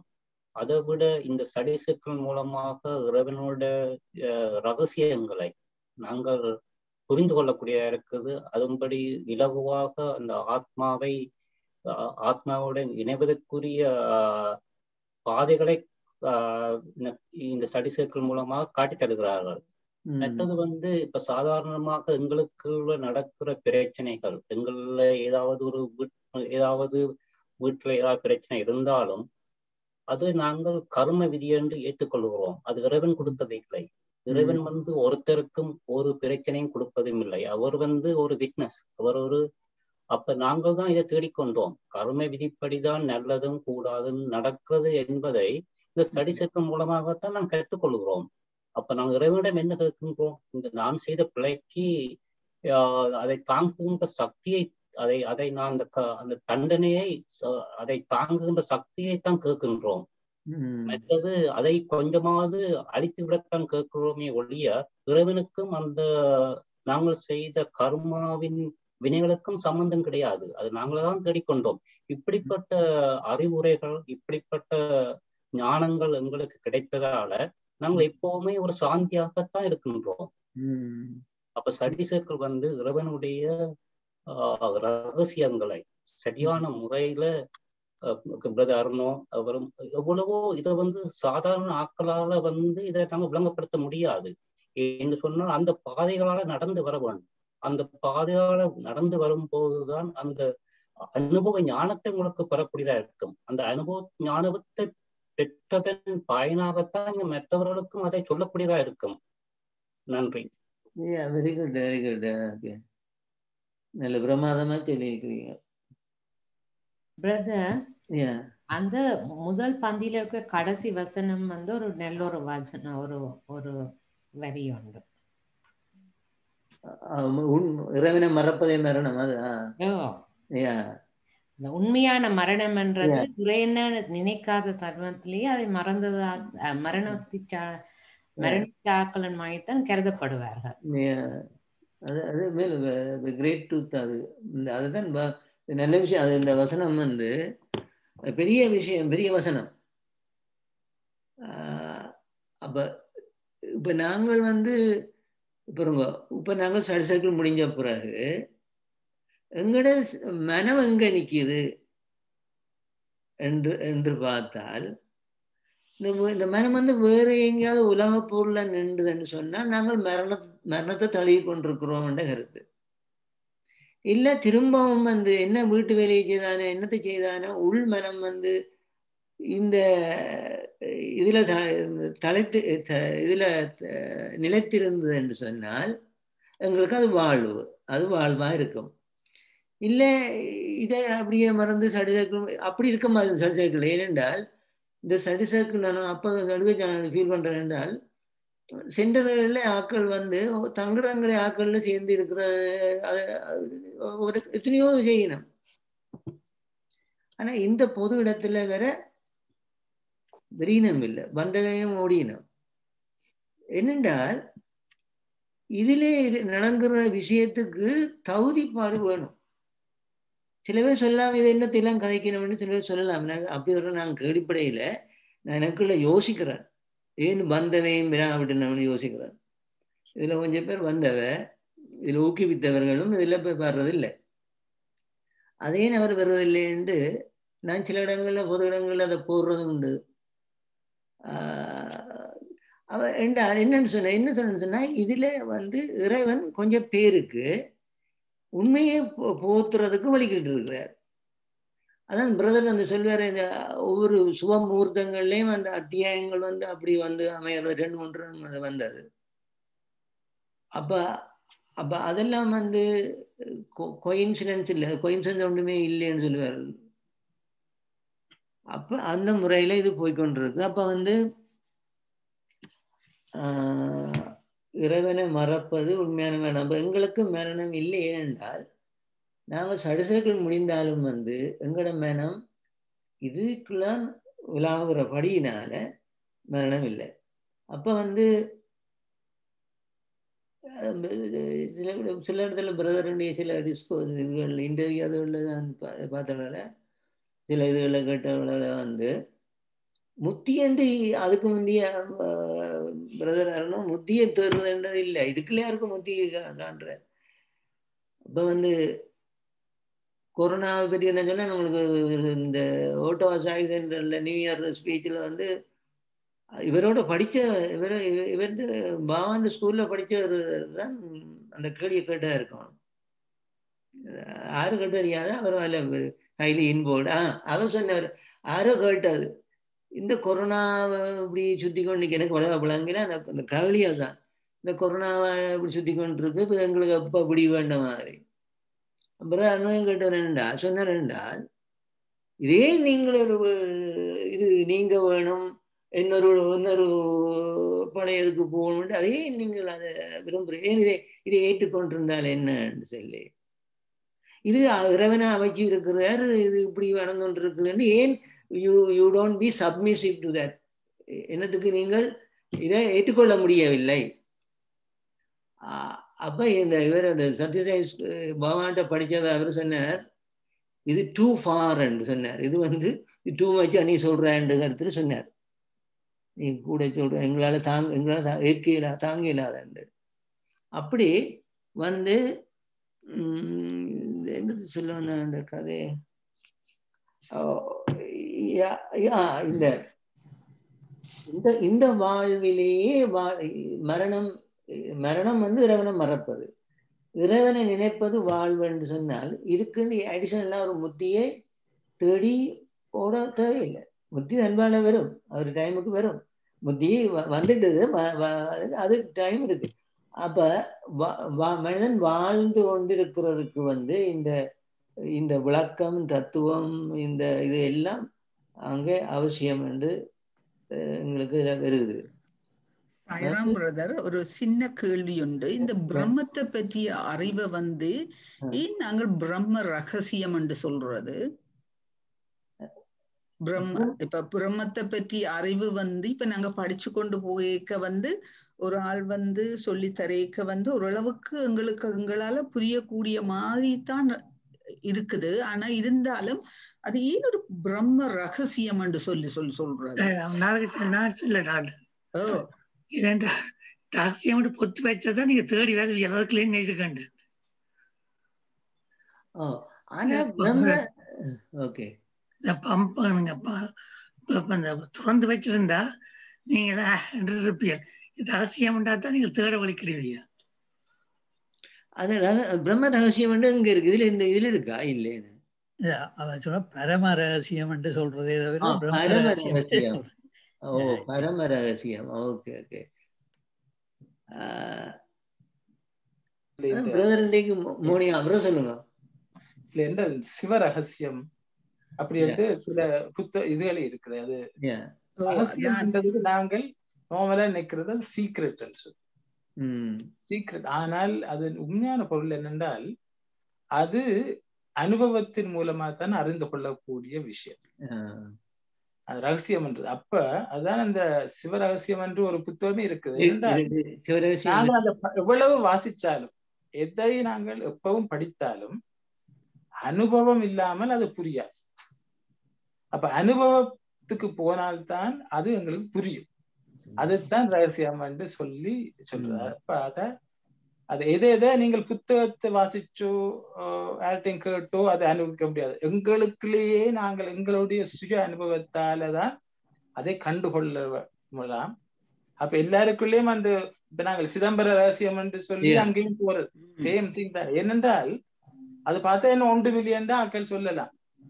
ஆனால் அதுல நின்று அதை பற்றி சிந்தித்து எங்களுக்குள்ளேயே இறைவன் எங்கும் பறந்தவன் என்று தெரிகிற வர்றது அது உணர்ச்சி பூர்வமாத்தான் வரும்.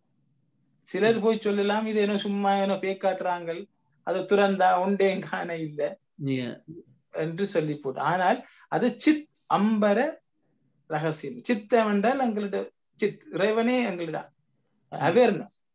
அந்த அத அம்பரம் என்றா அதை உடையாக அணிந்துதான் இறைவன் இருக்கின்றானா அப்படியான ஒரு ரகசிய ரகசியமா இருக்கின்றான். ஆனால் வெள்ள வழியில இருக்கின்றான். ஆனால் அதை அனுபவித்து நாங்கள் அதை கண்டுகொள்ளலாம் என்றால்தான் இந்த ரகசியம் என்ற வார்த்தை பயன்படுத்தப்படுகின்றது.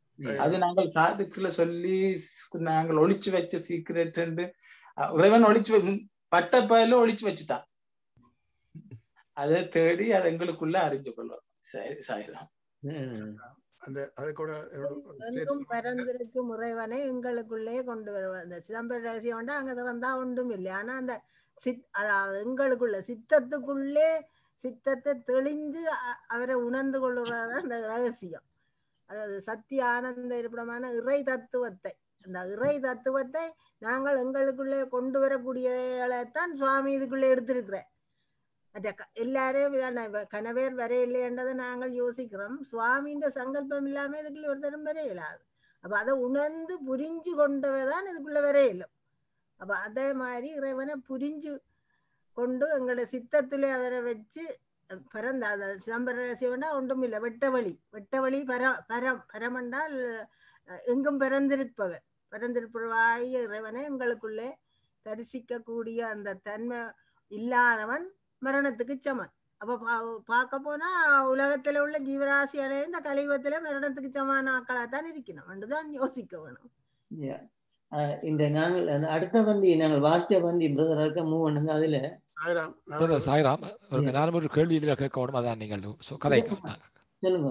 சொல்றதுக்கு இருக்கிறேன் இந்த ரகசியம்னு சொல்லிக்க அது வந்து எல்லாரும் வரைஞ்சு கொள்ள முடியாது. என்ன அதுக்கு அதை கேட்டு வேண்டிய அந்த அந்த நிலைமை வந்து அந்த அந்த நிலை- நிலைப்பாட்டுக்கு வர வேணும்.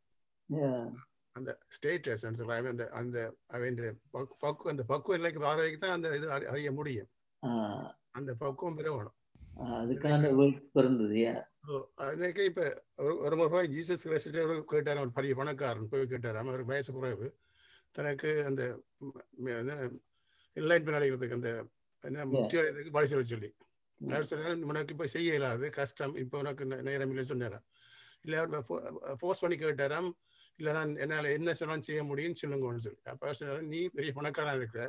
உன்னோட இருக்க பணம் எல்லாத்தையும் கொண்டு இல்லாட்டையும் ஏழை கொடுத்து திரும்பி வேணாம் சொல்லித்தான்னு சொன்னாராம். அவர் அந்த போக்கில் போனது திரும்பவே இல்லை. திரும்பவே இல்லை. அந்த பக்குவம் இல்லை. இல்லை. அப்ப அதுக்கு எல்லாத்துக்கும் ஒரு பக்குவம் இல்லை பெறணும் அப்ப அது தான் அது கிடைக்க ரகசியம். சாய்ராம் என்ற இதில் ஒரு வசனம் ஒன்று இருக்கு. சிறிதளவாவது பக்தி என்னும் தேனை சுவைத்தவன் தனது மனப்பிராந்தியை தெரிந்து கொள்வான். இதுக்கு என்ன விளக்கம் என்றதும் அடுத்தது அடைய முயல்வது அந்த இடத்தை அடைய முயல்வதே சாந்தியின் கீலகம் இந்த ஆ. கீலகம் என்றதுக்கு என்ன த என்ன சொல்லுக்கு கீலகம் என்று பாவிச்சிருக்கீங்க ஓகே. தேனை சுவைத்தவன் இந்த எந்த தேனை பக்தி என்னும் தேனை சுவைத்தவன் ஏன்னா மேல சொல்லியிருக்காத நான் அப்போது வந்து நான் என்னென்றால் அதுக்கு மேல நீங்கள் பிரதர் அருள் இருக்கிறதுக்கு மேல எப்படி வருது என்றால் மனித குலம் இதனை மறந்து விட்டது இறைவனை தம்முடன் தொடர் பெற்ற மூன்றாவது மனிதனாக நினைக்கிறார்கள் மனிதர்கள். ஆனால் உலகம் நெருங்கியவராகிவிட்டது. இறைவனை வந்து தள்ளி தூரத்தை வைத்து விட்டு உலகத்தை ஒரு உறவாகி கொண்டார்கள். மனைவி கணவன் பிள்ளைகள் அப்படி அப்படி சுத்தம் அப்படி என்று சொல்லி உலகம் உறவாகி விட்டது. இது என்ன விந்தை? இறைவனிடம் சரணாகதி அடைவதால் ஏற்படும் ஆனந்தத்தில் திளைக்காமல் தெய்வ பக்தி தேவாலயம் மகான்கள் புனித நதியில் குளித்தல் என்றவுடன் பதவதத்து விடுகிறார்கள். அப்ப வந்து இதுக்கு ஒரு அட்ராக்ஷன் ஒரு அட்ராக்ஷன் இப்ப இங்க எல்லாம் கொண்டு போவார்களோ வாங்கோ இவ்வளவு காசு தந்தால் அங்க பிள்ளைகளையும் இறக்கி எல்லா தலங்களையும் கொண்டு போய் இவங்களுக்கு காட்டி கொண்டு விடுவோம்னு சொல்லி. அதுக்கு ஜனங்கள் போவார்கள். ஏன்? அ- அவர்களுக்கு இந்த சரணாகதி அடைந்து அதிலே இருக்கிற இன்பத்தை தெரியாது. ஆனால் இப்படி ஒரு டூர் போகுது கோயிலுக்கு போகலாம் குளிக்கலாம் புனித நதி நீராடலாம் கங்கையில் குளிக்கலாம் என்ற உடனே அவைகளுக்கு ஒரு அட்ராக்ஷன் வந்து ஏற்படுது. அப்ப அது அப்ப சிறிதளவாவது பக்தியனின் தேனை சுவைத்தவர். இறைவனுடைய இறைவனுக்கு சரணாகதி அடைந்து இறைவனை விட வேறு ஒரு பொருளுமே இல்லை. இறைவனே எல்லாம் இயக்கி கொண்டிருக்கான் எனக்குள்ளே அவன் வந்தான் என்று பேசுகிறான். என்று அப்படி சரணாகதி அடைந்தவன் வந்து அடைவதால் ஏற்படும் ஆனந்த தேனை சுவைத்தவன் தனது ம- மனப்பிராந்தியை தெரிந்து கொள்வான். தன்னுடைய மனத்திலே இருக்கிற இந்த பிராந்தி எந்த பிராந்தி? இந்த மருட்சி. என்ன மருட்சி? ஓ இந்த இந்த கோயிலுக்கு போனால் முக்தி அடையலாம் இந்த கோயில் தரிசனம் என்றால் எனக்கு எல்லாம் கிடைத்துவிடும். இந்த கங்கையில குளித்து விட்டால் பாவங்கள் போயிடும். இப்படி இப்படி ஒரு மனப்பிராந்தி அவனுக்கு ஒரு மனதிலே ஒரு பிரதர் பிராந்திக்கு என்ன தமிழ் சொல்லு டெலிவிஷன் என்று சொல்லலாம். அது ஒரு இமேஜினேஷன் இமேஜினேஷன் இமேஜினேஷன் imagination. அதான் மருட்சி என்று சொன்னார் மருட்சி மயக்கம் மன மனமயக்கம் மன மன மருட்சி என்றது அப்ப வந்து அ- அது அடைகிறான். அவன் அடைகிறான். அது பகவான் சொன்னார் பகவான் சொல்லியிருக்கார் நீ நிற்கும் இடமே காசி அஹ் நல்ல ஒரு வசனம் என்னன்னு சொல்றார். நல்ல ஒரு கோயில் பேர் சொல்ற நீ நிக்கிடம் அது எத்தனையோ தலங்கள் சொல்ற நீ நிக்கணுமே காசி கேதா நீ நிக்கணுமே கேதார்நாத் இன்னொரு நல்ல ஒரு கோயில். ஏன் அப்படி சொல்ற உனக்குள்ள அந்த முழு பரம்பொருள் இருக்குது? அப்ப நீ நிற்கும் இடமே காசி. ஆனால் நாங்கள் என்ன செய்கிறோம்? ஒரு மனப்பிராந்தியம் ஒன்று இருக்குது. ஓ இந்த கோயில்களுக்கு போய் ரிஷிகளுக்கு போய் ஹரித்துவாருக்கு போய் கங்கையில மூழ்கி அந்த அதுதான் ம்,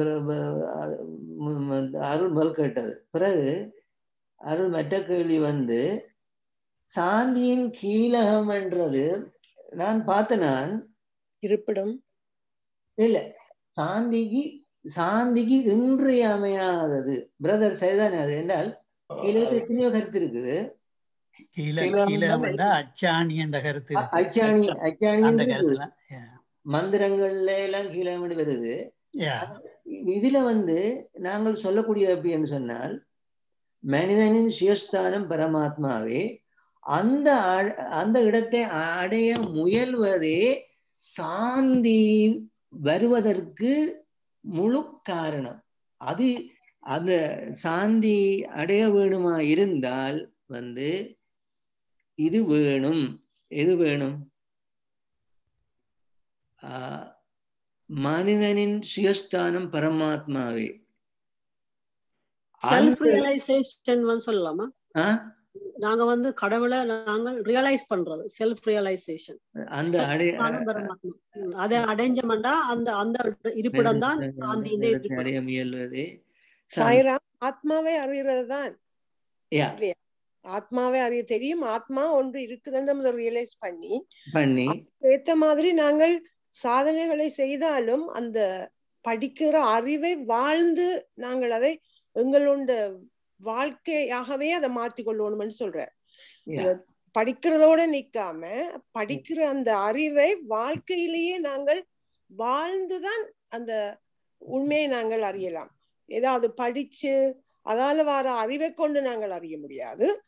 நாங்கள் எங்கட வாழ்க்கையிலே எப்படி அந்த நடைமுறைகளை கையாளுகிறோமோ அதை பொறுத்துத்தான் நாங்கள் அந்த நிலையை அடையலாம். எத்தனை பிறவிகள் எங்களுக்கு அதை எடுக்குமோ தெரியாது. ஆனால் கொடுக்கப்பட்ட பிறவியில எப்படி நாங்கள் அதை பயனுள்ளதாக செலவழிக்கலாம்? எப்படி அந்த ஆன்மாவை அடையிறதுக்கு முயற்சிகள் செய்யலாம் என்று சில முயற்சிகளைத்தான் நாங்கள் செய்யலாம். அந்த ஆன்மாவை அறிகிறதான் உண்மையான சாந்தி. அங்கதான் எங்களுக்கு சாந்தி கடைசி வரி நீங்க சொல்றது. என்னென்றால் மனிதனின் சுயஸ்தானம் பரமாத்மாவே. மனிதனுடைய அடிப்படை அஹ், உண் அடிப்படை உண்மை வந்து பரமாத்மா. அப்ப இந்த விஷயத்தை அனுபவ ரீதியாக அறிவு ரீதியால அனுபவ ரீதியாக இதை அடை அடைகிறவனுக்கு தான் சாந்தி கிட்டும். பிரதர் பிரதர் இப்போ இப்ப இவ்வளவெல்லாம் சொல்ற இதாண்டு க- கேட்ட பிறகு நான் ஒரு ஒரு சின்ன ஒரு இது கேட்கிறேன். அப்படின்னா நாங்கள் இப்ப இப்ப கோயில்களுக்கு எல்லாம் போறதுக்கெல்லாம் இப்ப சுவாமி வந்து கேதார அந்த அமர்நாத் அமர்நாத் அமர்நாத். போனவர் என்ன? அப்ப பத்ரிநாத்துக்கெல்லாம். அப்ப அந்த அது அந்த அடிப்படையில அதுல என்ன விளக்கம் வருது அப்ப? அது என்னென்றால் மக்களுக்கு உலக மக்களுக்கு பரம்பரை பரம்பரையான ஜீவகோடிகள் இப்ப நான் அன்றைக்கு நாங்கள் படிச்ச இந்த இங்கிலீஷ் ஸ்டடி சர்க்கிள்ல எனக்கு தியான வாகினியா இருக்க வேணும் வந்து. ஆனா அதை விட ஒரு அன்டிவலப் அன்டிவலப்ட் நாங்கள் ரெண்டு சொல்லல. வந்து அந்த கேட்ட சாந்தி ஆனந்தி கேட்டவ. என்னென்றால் இந்த இந்த இறைவன் என்ற சமுத்திரத்துல வந்து ஒவ்வொரு தரத்திலேயும் ஆன்மகோடிகள் இருக்குது. ஆரம்பத்தில் இடை நடை கடை என்று தெளிந்த நிலை என்று இப்படி எத்தனையோ விதமான ஸ்டாண்டர்ட்ல அது நாங்கள் கேட்கக்கூடாது. ஏன் அப்படி குறையா இருக்காதுண்டு இல்லை. அப்படித்தான் அது இருக்குது இந்த சமுத்திரத்தில். ஆகவே பத்ரி கேதார்நாத் பத்ரிநாத்ல எல்லாம் போய் பகவான் போய் இதை பிரதிஷ்டை செய்தது வந்து லிங்கத்தை எடுத்து வெளியில வச்சு திருப்பி அப்படியே அனுப்பினதெல்லாம் வந்து பத்ரிநாத் கேதார்நாத் அதெல்லாம் வந்து செய்ததுக்கு எதிர்கால சமுதாயம் இப்போ ஐயாயிரத்துக்கும் சில பேர் ஆறாயிரம் ஆண்டுன்னு சொல்லிக்கணும் இந்த கிருஷ்ணருடைய காலம். எப்படியா இருந்தாலும் ஐயாயிரம் ஆண்டு கூடுதலா சொல்லிக்கணும். ஐயாயிரம் ஆண்டுகளுக்கு பிறகு இப்பதான் முழு வடிவத்துல இறைவன் வந்து நிற்கிறார். ஆக வந்து என்ன எத்தனையோ ஆயிரம் வருஷங்களுக்கு உலகத்தை கொண்டு போறதுக்கான அடித்தளத்தை அவர் இட்டுட்டார். அது அதை பரப்பி கொண்டிருக்கிறார். குறிப்பாக இந்த மாணவர்கள் ஆசிரியர்கள் மூலமாக பரப்பி கொண்டிருக்கிறார். அப்ப அதுல ஒரு அம்சமாகத்தான் இந்த சிறிய தலங்கள்ல போய் அந்த பழைய பெருவனை இந்த சங்கராச்சாரியர் அவர்கள் ஸ்தாபித்த தலங்களை அவர் புனரு அந்த இது அதை திருப்பி சக்தி ஊட்டினார். எதிர்கால சந்ததிக்காக.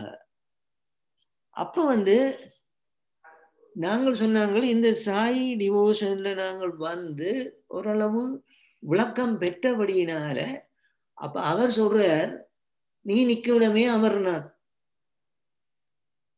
நீ நிற்குமிடமே காசி நீ அதே அது அப்படி இடைக்கிடைக்குல போட்டு கொண்டு வார இதை அறிந்து கொள்ளப்பா நீ உனக்குள்ளாத இந்த பரமாத்மத்துவம் இருக்குது நீ என்றதை அதை சொல்றார் ஆனால் இப்படி வாயால சொன்ன செய்கிறாரு நம் பிரதருக்கு ஒரே கொள்கை தான் வாயால சொன்ன செய்கிறாரு உலக உலக பந்தங்கள்ல ஆசையை வைத்துக்கொண்டு இது நான் இதுக்குள்ள பத்ரிநாத் இருக்கு அமர்நாத் இருக்கு என்றால் ஒரு தினம் எல்லாம் சிரிப்பாரு. உள்ளம் பெருங்கோயில் ஊனம்பு ஆலயம் வள்ளல் பிரானுக்கு வாய் கோபுரவாசல் தெளிந்தார்க்கு சீவன் சிவலிங்கம். எங்களுக்குள்ளேயே தான் எல்லாம் இருக்குது. மனிதன் சுயஸ்தான பரமாத்மாவே. அந்த இடத்தை அடைய முயல்வதே சாந்தியின் கீழே. அப்படி அடைந்தால்தான் அவன் சாந்தியை பெறுவான். அப்ப சாந்தியின் கீழே வேண்டது சாந்திக்கு இன்றியமையாததாக சாந்தியை பெறுவதற்கு இன்றி அமையாததாக இருப்பது வந்து மனிதன் வந்து தன்னுடைய சுயஸ்தானம் பரமாத்மா என்று விளங்கிக் கொள்வதே. அதான் கீழம் பிரதர் அருள் என்ன சொல்றீங்க இப்ப? அருள் தாயிராம் இல்ல எனக்கு அது சொல்லு. நான் ரெண்டைத்தான் அது கேள்விப்பட்டேன். சொல்லுதான் பிரதர் அதுல ஏதோ சுவாமி அதுல செய்தபடியா ஏதோ ஒன்று இருக்குமென்ற ஒரு மனம் ஒன்று சொல்லிக்கொண்டு இருக்குது அதான் நான் ட்ரை டு அண்டர்ஸ்டாண்ட் நீங்கள் சுவாமி அந்த அளவு இதா போய் செய்து ஸோ ஸோ சாய்ராம் பிரதர் நீங்க சொன்ன மாதிரி சோதா சொன்ன மாதிரி இந்த இந்த ஆத்மீக வெள்ளோட்டத்துல வந்து எல்லா விதமான மக்களும் இருக்கிறார்கள். அப்ப அவர்களுக்கு ஏற்ற மாதிரி உங்களோட கோயில்கள் இப்ப நாங்க ஆரம்ப காலகட்டத்துல வந்து கோயிலை தான் நம்பி இருந்த நாங்கள். அப்புறம் அறிவுகள் கூட கூட அடுத்தடுத்த படிநிலைக்கு போவீங்க அப்ப ஆரம்ப கட்டத்துல இருக்கிறவைக்கு அவைகளையும் நாம் கவனிக்க வேணும் அதனாலதான் இதுகளெல்லாம் செய்யப்பட்டது. மற்றது எஸ் மற்றது வந்து நாங்கள் வந்து பக்தியை பக்தி மூலமாக அந்த அனுபவ பிரதர் சொன்ன மாதிரி இந்த அனுபவத்தை பெற்று விட்டால் அந்த தேனை சுவைத்து விட்டால் நீங்கள் அதுக்கு பிறகு மேலும் மேலும் அந்த தேனை சுவைக்க வேணும் தான் விரும்புவீங்களே ஒழிய உங்களுடைய ஆசையில வந்து எந்த வித மாற்றம் ஏற்படாது. இப்ப இப்ப சாய் சென்று எடுத்து பார்த்தாலும் எத்தனை பேருக்கு இந்த ஸ்டடி சர்க்கிளை பற்றிய அந்த அந்த அனுபவம் அல்லது அதனுடைய உண்மை அதை ரசிக்கக்கூடிய இது இருக்குது. எல்லாருக்கும் கிடையாது. அப்ப அதான் அதாவது அதற்கான நாங்கள் அவர்களை இல்லாத அவர்களுக்கு இறைவன் நீங்க ஆரம்பத்தை சொன்ன மாதிரி எத்தனை பேர் வருகிறார்கள் இல்லை. எத்தனை பேர் அதை எடுத்துக்கொள்கிறார்கள் சரியான முறையில் எடுத்துக்கொள்கிறார்கள் அதுதான் இம்பார்ட்டன்ட் சாய்சண்ட் எடுத்து பார்த்தா நான் முதல் சொன்ன மாதிரி பகவான் வந்து எத்தனையோ அற்புதங்களை உருவாக்கி ஆயிரக்கணக்கான மக்களை இங்க உள்வாங்க முடியும். ஆனால் பகவானின் கொள்கை என்னது? டிசிப்ளின் அண்ட் ஆத்ம வித்தியாவை தெரிந்து கொள்வதுதான். நன்றி. அவர் சிஸ்டர் அருணாந்தகிரி இப்போ சரி இப்போ ஒரு நாங்கள் போனால் இந்தியாவுக்கு போகிறோம் என்றால் புட்டபத்தி சமாதி நிலை சமாதிக்கு போகிறது பார்க்க பத்ரிநாத்துக்கு போகிறத விரும்புவோமா? அல்ல பத்ரிநாதையும் சுவாமியின் சாந்தி இந்த சமாதியையும் ஒண்டா நோக்குவோமா? அல்லது சுவாமியின் சாமா சாந்தி சமாதி பெருசு என்று சொல்லுவோமா? இப்படி இப்படியெல்லாம் நாங்கள் பார்க்கலாம். அதுக்குத்தான் வந்து வளர்ச்சி எங்களுக்கு இல்லை என்று சொன்னால் வந்து வைப்ரேஷன் வந்து எல்லா இடம் இருக்கு. அதான் பவான் பவானே சொல்லியிருக்கார். இங்கே இதில் இதில் இது இதில் இருக்கும்னு நினைக்கிறேன் இந்த இந்த பாடத்தில். பவானே சொல்லியிருக்கார் இப்படியான இடங்களில் வந்து வைப்ரேஷன் இருக்குது. வைப்ரேஷன்கள் இருக்கிற பொழுது அங்கே போகிற பொழுது அவர்களுக்கு ஒரு ஒரு ஒரு ஒரு புனித குதூகலம் ஒரு புத்துணர்ச்சி ஏற்படும். அப்போ வந்து புத்துணர்ச்சி ஏற்படும். அப்போ கூட கூட கூட கூட தலங்களுக்கு போனால் கூட கூட கூட இந்த இந்த இருள் இருள் எண்ணங்கள் நீங்கி புனித எண்ணங்கள் எண்ணங்கள் வரும். அது ஆரம்பத்துக்கு தேவை. ஆரம்பத்துக்கு அது தேவை. அதனால் வந்து அதான் ஆக்கள் இங்கே புட்டவதி ஆக்கள் போய் சா- சமாதிக்கு போயினவன் என்றால் அங்கே அப்படியே சுவாமி இருக்கிற மாதிரியான வைப்ரேஷன் இருக்குன்னு சொல்ல சொல்லுகிறார்கள் அப்போ அப்படி ஒன்று தான் பத்ரிநாத்துக்கு அவர் மக்களுக்காக பத்ரிநாத்தை செய்தார். அப்படி ரெண்டு மூன்று ஆலயங்களை அவர் செய்தார். அதான் விஷயம். அங்கே கூடுதலான வைப்ரேஷன் ஏற்பட வேணும். பொதுமக்களுடைய இருளை வந்து நீக்கக்கூடிய அதிர்வலைகள் அங்கே தேவை. அந்த தேவை இருக்கிறது. ஆனால் சரணாகதி அடைந்து அந்த அந்த அந்த தெய்வத்தை தனக்குள்ள கண்டவன் வந்து உலக உபசாரத்துக்கு அவன் போய் தலை வணங்குவானே தவிர அதுதான் அங்கதான் இருக்குன்னு ஓடமாட்டான் இதான் விஷயம். அங்க அந்த டைம் வந்துட்டுது சிஸ்டர் வேற நீங்கள் இதுக்கு பிரதர் இவர் சிஸ்டர் கேட்கறதுக்கு ஏதாவது மறுபடியும் சொல்லுங்க அந்த. இல்ல சிஸ்டர் இருந்தால் அப்ப நான் பத்ரிநாத்துக்கு போவென்று இருக்கிறேன். இப்ப அது போக கூடாதா நான் ஸ்டேட்டுக்கு போய் நானும் ஆரம்ப காலத்துக்கு போயிட்டனோ என்ற ஒரு கேள்வியா தான் அவன் இந்த கேள்வியை நிக்கிறேன். சுவாமி பல இடங்களுக்கு போய் நீங்கள் சொன்ன மாதிரி புத்துயிர் கொடுத்திருக்கின்றார் தான். ஆனால் நாங்கள் போ நீங்கள் அது நீங்களும் அதையே சொல்லிட்டீங்க நீங்கள் எந்த கோயிலுக்கு போனாலும் எந்த நோக்கத்தோட போவீங்கள் இங்க இல்லாதது அங்க இருக்கின்ற போறதுலதான் ப்ராப்ளமே ஒழிய. ம். அப்படி போனால் போறதுல தப்பில்லை. ஆனால் போகும்பொழுது என்ன மனநிலையோட போகின்றோம். சுவாமி இங்க வந்தார் நானும் அதனால் வருகின்றேன் என்று வருவது வித்தியாசம். அப்ப எல்லாமே எங்களுடைய மனத்தில் தான் என்று என்னுடைய அபிப்பிராயம். அது நாங்கள் எவ்வாறு போகின்றோம்? போ கிடைத்தால் நல்லா இருக்கும். இல்லை என்றாலும் பரவாயில்லை. சுவாமி என்ன அப்ப எங்களுடைய எல்லாமே மனநிலையில இருந்துதான் அதை பார்க்க வேண்டும். ஆனால் சிலர் இங்க கிடைக்கல என்றுட்டு அங்க போனோம் என்றால் அது அது ஒரு பெரிய ஒரு குழப்பம் என்றுதான் சுவாமி அதுல நான் என்ன ட்ரை பண்ணி அண்டர்ஸ்டாண்ட் பண்ண பாக்குறேன்னு சொன்னா இன்னும் ஏதாவது உண்ட சுவாமி அதுல உங்களுக்கு காட்டினாரா? நாங்கள் சுவாமியை நினைக்கிறோம் ரைட் அது உண்மை. ஆனா அந்த தலத்துல போயிட்டு செய்ததுக்கான ஏதாவது ஒரு காரணம் ஒன்று இருக்கா? அதைத்தான் நான் ட்ரை பண்ண பாக்குறேனே ஒழிய சுவாமி எல்லா இடம் இருக்கிறாரு. இப்ப புட்டபத்தில போயிட்டு நாங்கள் சமாதியை கும்பிட்டா சமாதி என்று நான் நினைக்கிறது இல்ல சுவாமி அங்க கும்பிட்டாலும் இந்த இடத்துக்கு போனதுக்கான சுவாமின்ற இது என்ன? ஒரு ஒரு அது வந்து ஆதிசங்கராஜ் அது சொன்னவர் பகவான் வந்து. எல்லாம் போட்டு ஆதிசங்கர லிங்கத்துக்கு எல்லாம் அந்த புனித ஸ்தலங்கள முக்கியத்துவத்தை சொல்லத்தான் செய்தவர். அதுகள் அதுகள் வந்து அதை புத்துயிர் ஊட்டி விட்டால் வந்து எத்தனையோ பரம்பரைக்கு அது உதவி செய்யும் என்று தான் பகவான் போய் இப்படி சங்கராச்சாரிய ஸ்தாபித்த இந்த இதுகள்ல போய் செய்திருக்கிறார். பெரிய கொண்டு ஆ? இந்த சங்கராச்சாரிய லிங்கம் எல்லாம் கொண்டு வந்து லிங்கம் எல்லாம் கொண்டு வந்து ஸ்தாபிச்சு விட்டவர். அதை சுவாமி கீழே இருந்து மேல எடுத்து பூஜை பண்ணி திருப்பி திருப்பி அதே இடத்துல கொண்டு வச்சு விட்டார் தூண்டில தங்க தங்க தாமரையால பூசை செய்தவர் நூற்றி எட்டு. இதழ் கொண்ட சா- தங்க தா- இதால பூசை செய்து சாவித்து வைத்தவர் புனஸ்தாரணம் செய்து வைத்தவர் பிரதருக்கு தெரியுமா ஏய், அப்ப நான் நி- நான் நினைச்சது ஏதாவது ஏதாவது ஒரு ஸ்பெஷலான சுவாமின்ற ஏதாவது உண்டு சுவாமி உங்களுக்கு டிவோட்டிஸுக்கு சொல்ல எடுத்தாரா? அந்த அந்த இதால நாங்கள் ஏதாவது உள்வாங்க இருந்ததான்றது அறியத்தான் நான் கேட்டேன். நான் தேங்க்யூ சாய்ரா இல்ல சிஸ்டர் சுவாமி. பாமர மக்களும் பலன் பெறதுக்காண்டி. சுவாமி அறையாம சிவனோட இருந்து அந்த கோயில்களோட நிக்கிறதையும் அந்த பலனை பெறட்டும் சொல்லி. பிரதர் இது சொல்ற பிரதர் சொல்லுங்க என்னண்டு இல்ல சுவாமி இந்த அத்தியாயத்திலேயே முன்னால சொல்லிட்டார். இவ்வாறு இந்த கோயில்களை நல்லா வைத்து நல்லா நடத்துவது.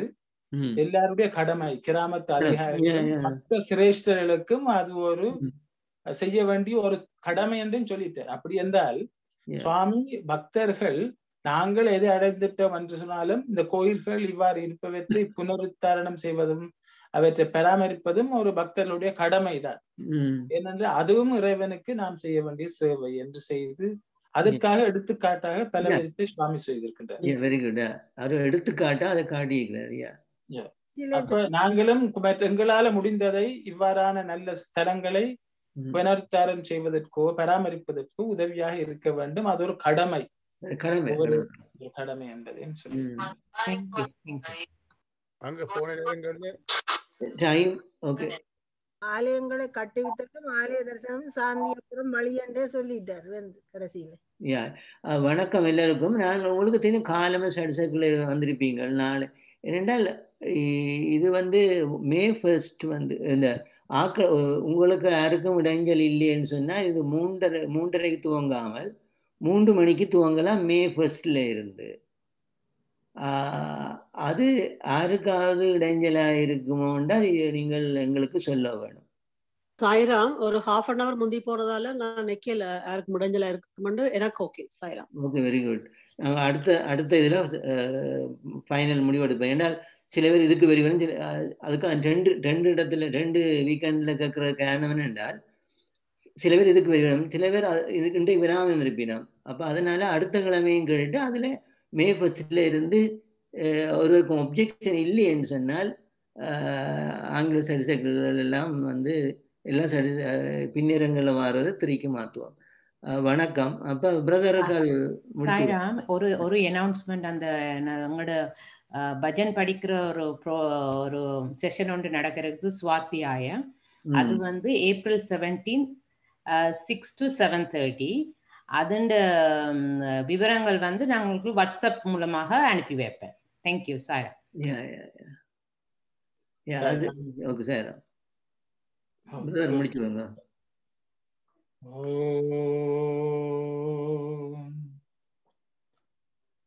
समस्तलोका सुखिनो भवन्तु समस्तलोका सुखिनो भवन्तु समस्त लोका सुखिनो भवन्तु। ओम शांति शांति शांति Saira Sairam Sairam. Thank you thank you Sairam Sairam thank you Sairam Sairam Sairam